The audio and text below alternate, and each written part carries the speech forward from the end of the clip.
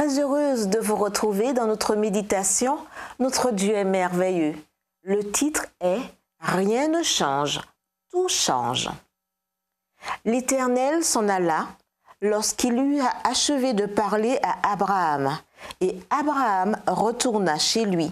Genèse 18, verset 33. Que fait-on après avoir parlé à Dieu en personne? Que fit Abraham après avoir reçu la visite du juge de toute la terre?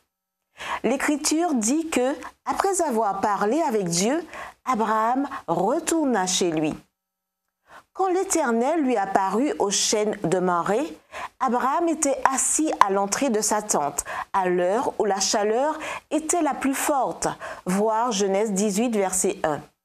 C'était probablement aussi une heure de grande activité dans les champs.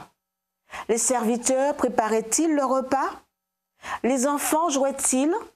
Les animaux mangeaient-ils ou dormaient-ils? Le fait est qu'un jour, au milieu des activités ordinaires d'une famille, Dieu rend visite au foyer d'Abraham. Qui pourrait même dans ses plus beaux rêves imaginer cela? Et quand Dieu apparaît de cette manière, rien ne change. Cependant, tout change.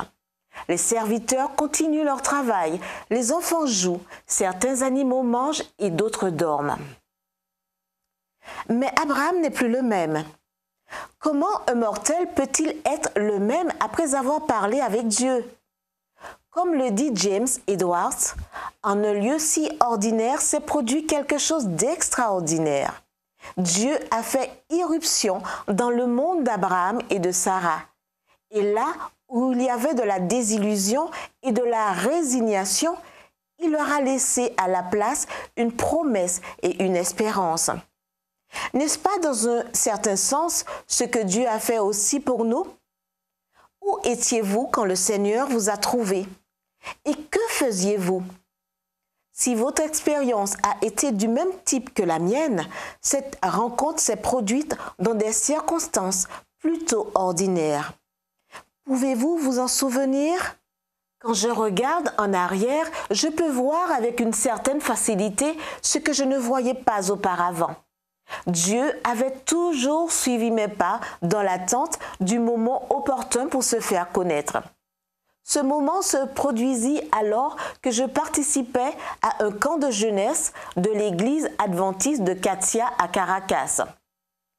J'avais près de 18 ans et j'étais là plus pour l'amour d'une jolie jeune fille que pour le programme spirituel. Le sabbat, durant la prédication, le pasteur Mendy fit un appel pour ouvrir la porte de son cœur au Christ. Ce jour-là, sous les arbres qui nous offraient leur ombre, j'ai donné ma vie au Seigneur. Quand le lendemain je suis retourné chez moi, rien n'avait changé. Néanmoins, tout avait changé, parce que je n'étais plus le même. Là où il y avait désillusion ou résignation, Jésus avait apporté une promesse et une espérance. Ah, ce que Dieu peut faire. Prions. Dieu des merveilles, surprends-moi aujourd'hui que dans les circonstances ordinaires de cette journée, quelque chose d'extraordinaire se produise. Et bien que tout reste inchangé, continue à travailler dans ma vie pour que je ne reste pas le même. Au nom de Jésus. Amen.